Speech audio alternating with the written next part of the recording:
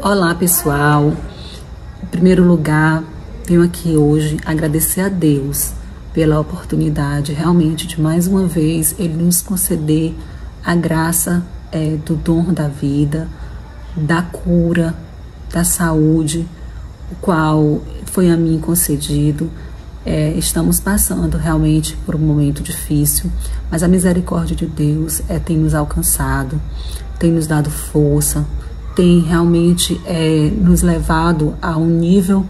é, de encontro e intimidade com Deus muito grande, o qual nos faz ter a esperança da cura de um quadro é, que foi acometido de forma muito rápida de insuficiência renal aguda, onde fui submetida a sessões de hemodiálise e todo aí quase um mês passando por realmente dias muito difíceis mas em todos os dias tendo a certeza que Deus está do meu lado. Então, agradecer realmente a Deus e as inúmeras orações é, que foram feitas pedindo realmente que, que eu saísse do leito, pedindo a nossa cura. Agradecer muito aos amigos que estiveram ao meu lado e continuam em tratamento, mas com recomendações médicas. Iremos voltar na próxima semana às atividades na Assembleia Legislativa aonde isso nos encoraja, né, nos motiva a realmente passar por esse momento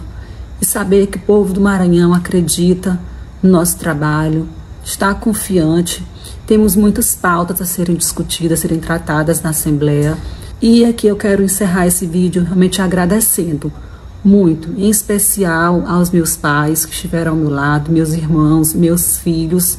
e ao prefeito Luciano por mais uma vez ter passado todo esse processo ao meu lado, não medindo esforço para que eu me sentisse segura, para que pudesse realmente saber que a importância de, de um seio familiar junto com os nossos filhos estiveram em São Paulo acompanhando e isso realmente me fortaleceu bastante. Então, é, a certeza é que nós estamos cada vez mais fortes e confiantes, com uma fé inabalável, sabendo que juntos, é, eu, povo do Maranhão